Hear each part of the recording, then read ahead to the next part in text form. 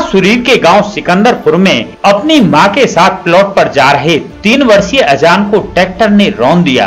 बताया जा रहा है, ट्रैक्टर खनन कर रहा था और खनन कर रहे ट्रैक्टर ने अजान को रौन दिया, जिससे उसकी मौके पर ही मौत हो गई। ग्रामीणों के शोर मचाने पर ट्रैक्टर चालक ट्रैक्टर को छोड़कर फरार हो गया।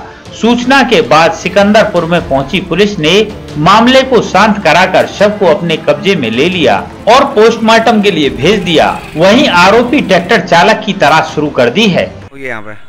अभी अभी कुछ देर पहले की बात है। एक महिला सिकंदरपुर से भागी हुई अपने बच्चे को लेके सूर्य उपचार केंद्र पर जा रही थी जिसे किसी ट्रैक्टर अज्ञात ट्रैक्टर ने कुचल दिया था।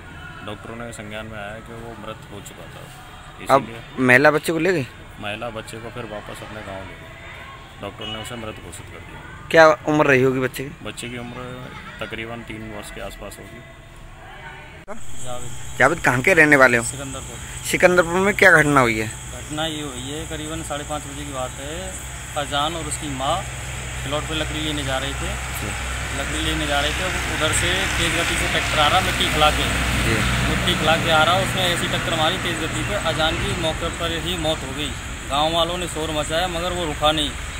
ट्रैक्टर को लेके फरार हो गया मतलब। ट्रैक्टर चालक का पता चल पाया? ट्रैक्टर चालक है जरेलिया का सर। जी। अब यहाँ आप थाने आए हो क्या कार्रवाई हो रही है? कार्रवाई हो रही है ये पंचनामा दे दिया है एप्लीकेशन दे दिया है और बॉडी को पोस्टमार्टम के लिए लेके गए।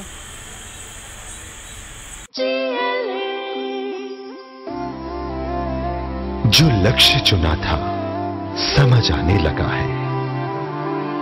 जो भविष्य बुना था, नज़र आने लगा है। जीएलए यूनिवर्सिटी, उच्च लक्ष्य की निश्चित प्राप्ति, लक्ष्य चाहे जॉब पाने का हो या जॉब देने का।